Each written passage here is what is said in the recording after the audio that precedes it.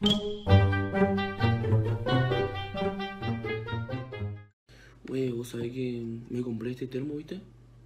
Stanley, la marca sí, conocida. Bueno, que te decía, vos no tenés Stanley, pero... Wey, ¿no? 20 mil pesos, nomás. a mí no me cuesta, ¿viste? Yo no, me cuesta. Vos sabés, wey, ¿no? El agua, el, el sabor del agua cuando tomás mate, wey, es diferente, bro. En este termo es diferente, bro.